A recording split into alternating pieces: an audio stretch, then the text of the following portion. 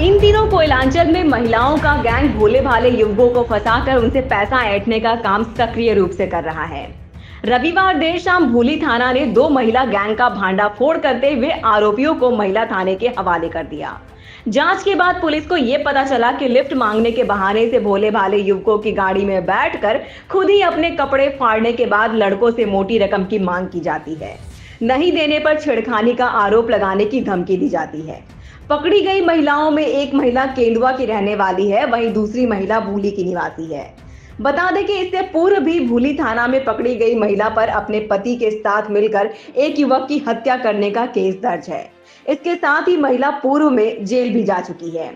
हालाँकि पूरे मामले पर महिला थाना प्रभारी ने बताया कि पूरे मामले पर जाँच पड़ताल की जा रही है, जाँच के बाद उचित कार्रवाई की जाएगी।